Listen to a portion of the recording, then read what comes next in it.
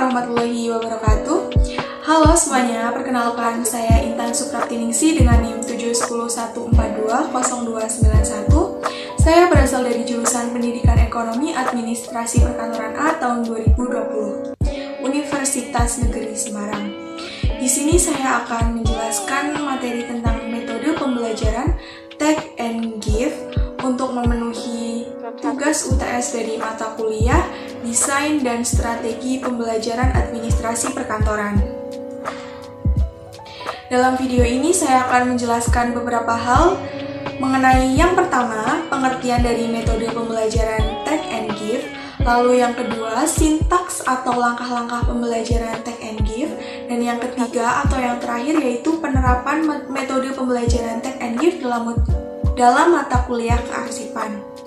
Baik, tanpa menunggu lama, mari kita mulai videonya. Silahkan. Hal pertama yang akan saya bahas dalam metode pembelajaran ini adalah pengertian dari metode pembelajaran Take and Give. Take and Give sendiri secara bahasa mempunyai arti mengambil dan memberi. Maksud take and give dalam metode pembelajaran ini adalah di mana siswa mengambil dan memberi pelajaran kepada siswa yang lainnya. Model pembelajaran menerima dan memberi atau take and give merupakan model pembelajaran yang memiliki sintaks menuntut siswa mampu memahami materi pelajaran yang diberikan oleh guru dan teman sebayanya atau siswa lainnya. Beberapa ahli percaya bahwa suatu mata pelajaran benar-benar dikuasai oleh siswa apabila siswa mampu mengajarkan pada peserta didik lain atau siswa lain.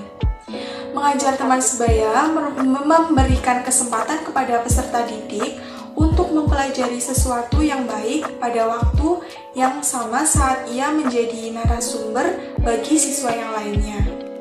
Strategi pembelajaran ini juga memberikan kepada pengajar tambahan-tambahan bahan apabila mengajar dilakukan oleh peserta didik.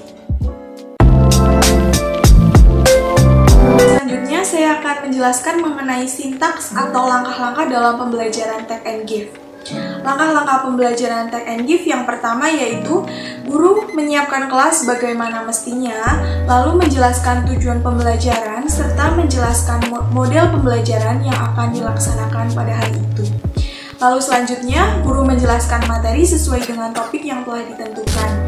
Yang ketiga, untuk memantapkan penguasaan peserta atau siswa, tiap siswa diberi masing-masing satu kartu untuk dipelajari atau dihafal kurang lebih dalam waktu 5 menit. Kemudian perintahkan siswa untuk berdiri dan mencari pasangan untuk saling menginformasikan materi sesuai kartu masing-masing. Selanjutnya, tiap siswa harus mencatat nama pasangannya pada kartu kontrol yang telah diberikan kepada siswa. Demikian seterusnya sampai tiap peserta dapat saling memberi dan menerima materi masing-masing. Setelah semua selesai, untuk mengevaluasi keberhasilan, berikan siswa pertanyaan yang sesuai dengan materi yang telah ditentukan atau kartunya. Lalu, guru dan siswa sama-sama menyimpulkan materi yang telah dipelajari pada hari itu fantastic. Ini merupakan kartu kontrol yang digunakan untuk mendukung metode pembelajaran Take and Give. Dalam kartu ini terdapat nama siswa, lalu submateri yang diterima, serta nama siswa yang diberi materi oleh siswa tersebut. Contohnya, untuk nama siswa diisi Intan, submateri tentang penyimpanan arsip, dan di sini Intan memberikan materi tersebut kepada Iva dan Jessica. Lalu nanti di langkah terakhir, Iva dan Jessica dievaluasi apa saja materi yang tadi telah diberikan oleh Intan pada saat itu. Untuk penerapan atau implementasi pembelajaran Take and Give dalam mata pelajaran kearsipan, yang pertama yaitu guru menyiapkan kelas bagaimana mestinya, lalu kemudian guru menjelaskan tujuan pembelajaran Take and Give, serta menjelaskan bagaimana model pembelajaran yang akan dilaksanakan pada hari itu. Lalu kemudian guru menjelaskan materi tentang kearsipan yaitu tentang pengertian arsip, jenis-jenis arsip, serta sistem penyimpanan arsip kepada siswa-siswanya. Lalu, untuk memantapkan penguasaan materi pada siswa, siswa A diberikan materi tentang sistem penyimpanan arsip sesuai dengan kartu yang diberikan oleh guru. Lalu kemudian, siswa A berdiri dan mencari pasangan untuk saling menginformasikan materi tentang sistem penyimpanan arsip kepada siswa B.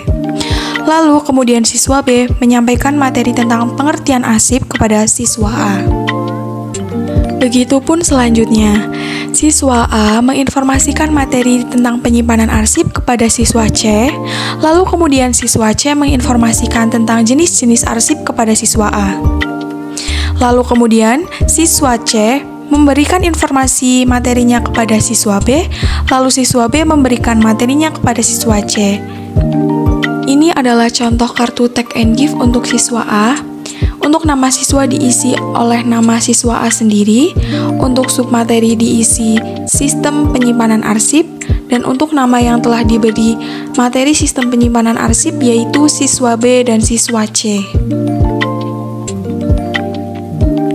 Lalu setelah semuanya selesai untuk mengevaluasi keberhasilan materi tentang kearsipan dengan model pembelajaran take and give, guru memberikan siswa pertanyaan yang sesuai dengan kartunya serta kartu orang lain. Lalu yang terakhir, guru dan siswa sama-sama menyimpulkan materi yang telah didapat pada hari itu yaitu tentang kearsipan. Baiklah, sekian pembahasan materi tentang metode pembelajaran take and give dari saya. Mohon maaf apabila ada tutur kata yang kurang berkenan. Wassalamualaikum warahmatullahi wabarakatuh.